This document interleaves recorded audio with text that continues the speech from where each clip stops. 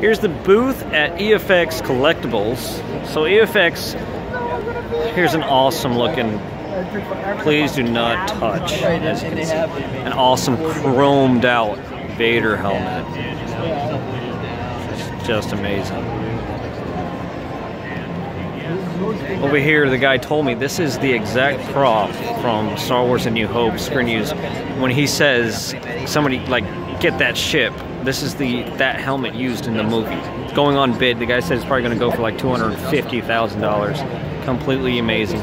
Just the exact replica. I mean, not replica, exact movie. Last scene uh, of A New Hope the sand trooper, whatever. I don't know what, but he was he, this exact helmet was worn during film, so that's really cool. Let's slide on over here to the chrome chrome stormtrooper helmet. That looks amazing. Over here you can see the regular stormtrooper helmets. These go for like 199. And over here you see uh, props.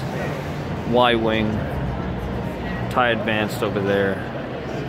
Just an epic looking Star Destroyer. Uh, as you can see a little kid right there. It's massive.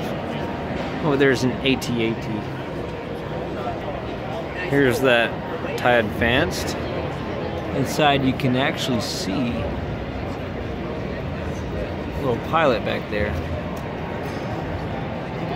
it doesn't look like Vader, but.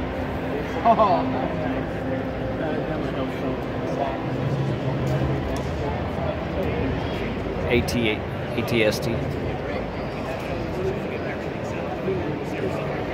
Here's more of a close-up of that.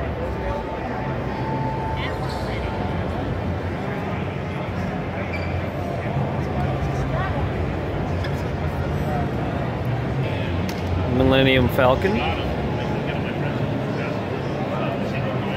There was a Rebel helmet, but over here, Vader. Vader. Scout Trooper and a Ralph McQuarrie.